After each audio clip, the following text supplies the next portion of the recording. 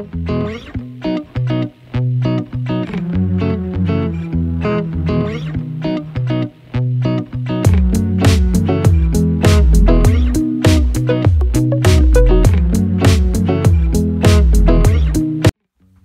い、えー、皆さんこんにちは、まっすんでございます。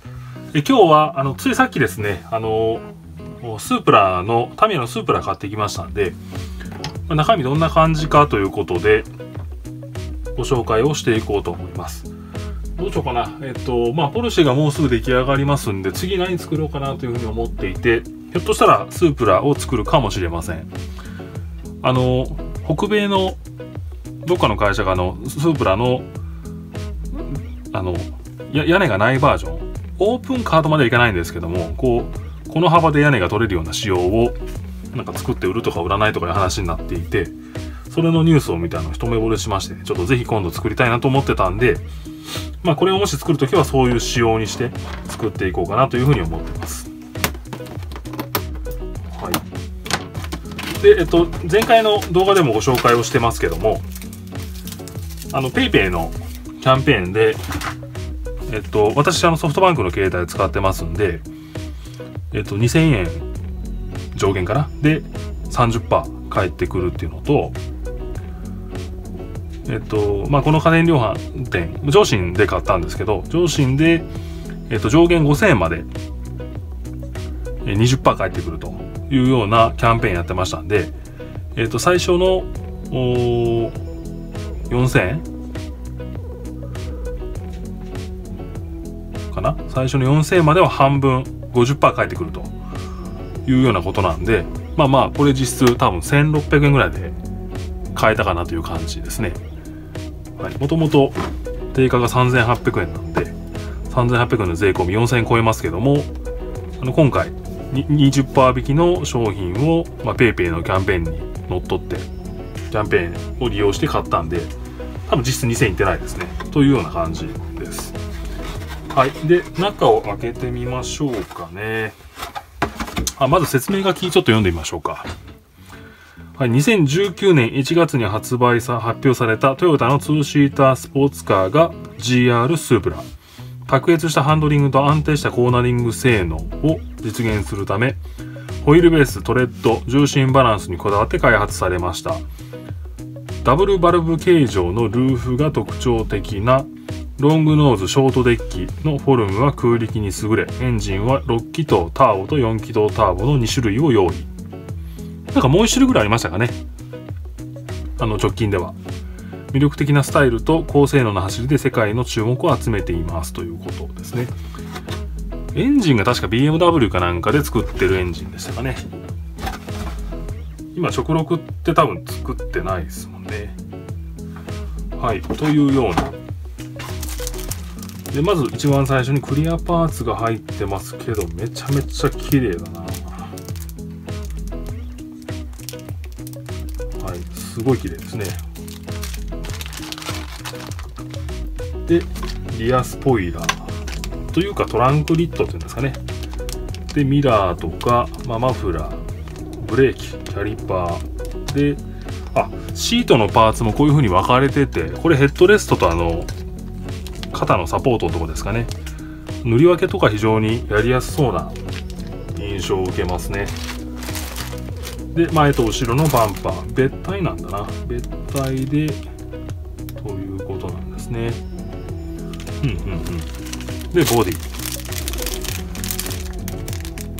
ボディですね。はい。ちょっとね筋が浅い感じがするかなっていうボディの感じがします。でホイールこれもなんかホームページで見ましたけど塗り分けがいらないように黒の部分とメッキの部分とが別体になってる部品構成。でタイヤですね。タイヤは何がついてるんでしょうね純正ね。ロゴはあの多分大人の事情ですけど入ってませんけど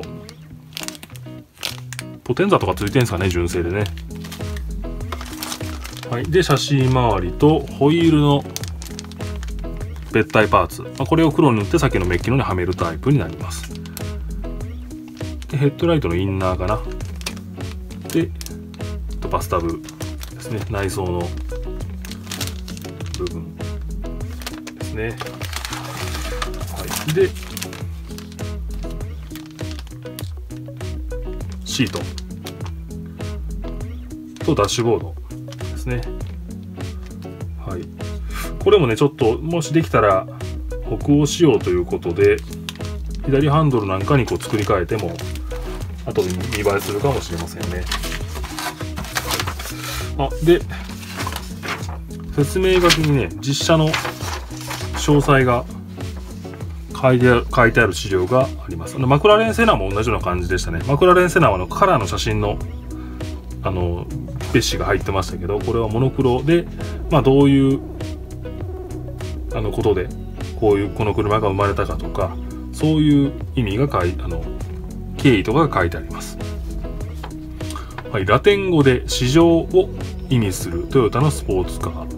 スープラがデビューしたのは1978年のこと。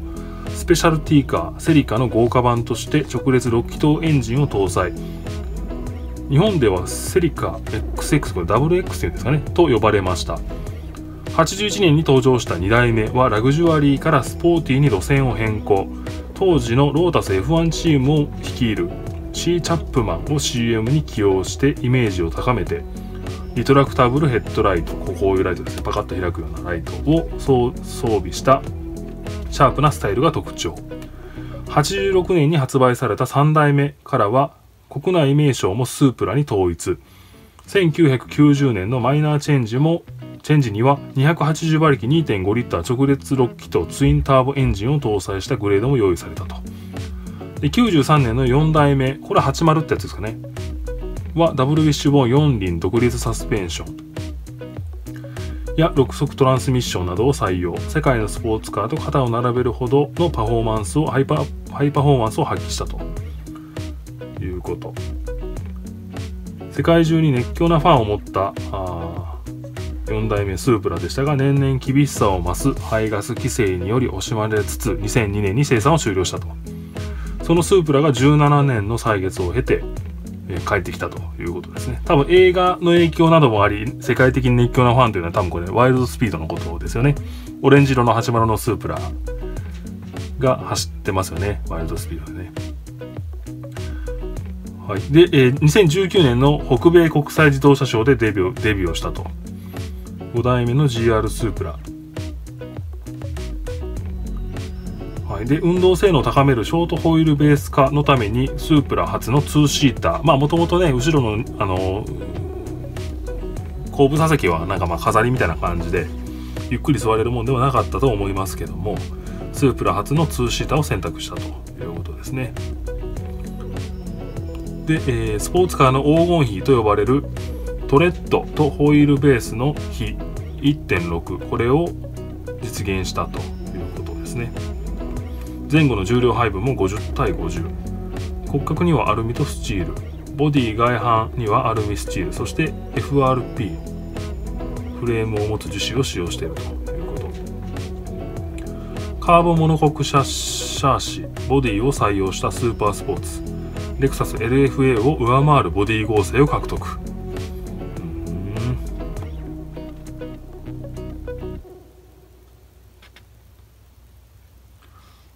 で、エンジンは、グレードの違いによって RZ、SZR、SZ の3種類。トップグレードの RZ にはスープラの伝統ともいえる直列6気筒エンジンを搭載。ターボにより下級された排気量 2997cc、3リットルのエンジンは340馬力のハイパワーを誇ります。SZR、SZ はともに排気量 1998cc、2リットルの直列4気筒ターボエンジン。チューニングの違いにより SZR は258馬力 SZ は197馬力を発揮トランスミッションはどのグレードもダイレクトで応答性に優れた8速オートマチックトランスミッション。8速ですよ皆さん。8速恐ろしいな僕のミニは 4, 4, 速ですけどね。この倍倍ほどギアの枚数があるということで。すごいな。はい。でスープラの生産はオーストラリアのマグナシュタイヤ社が担当。完成車体は日本へ輸送された後愛知県豊田市のトヨタ元町工場で最終検査を経てオーダーから約8ヶ月後にオーナーの元へ届けられるというシステム。8ヶ月って長いですね。8ヶ月という時間は一般的な車の納車までの期間に比べては長いもののほぼ注文生産と言える体制を考えれば十分納得できるもの。わ8ヶ月はちょっと待たれへんな。気が変わりそうですね。なんか8ヶ月の間に新しい別のあのスポーツカーが出てきたらなんかそっちの方が良かったかなとか悩んじゃいそうなぐらい長い時間ですけど。あれちょっとね部品点数は思ったより多いですね。ちょっと多めかもしれないです。まあその分マスキングとかの手間が少なくて済むということなのかもしれませんけども。うんちょっと多いかもしれないですね。部品点数は多めだな。は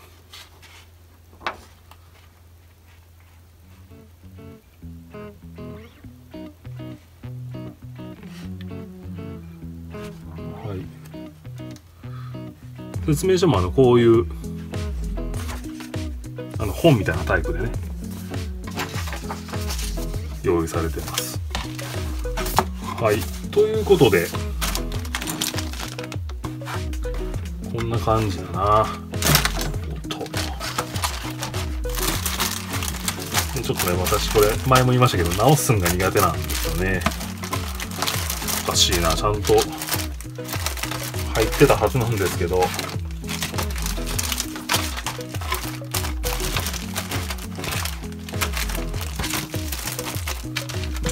れ入るかな。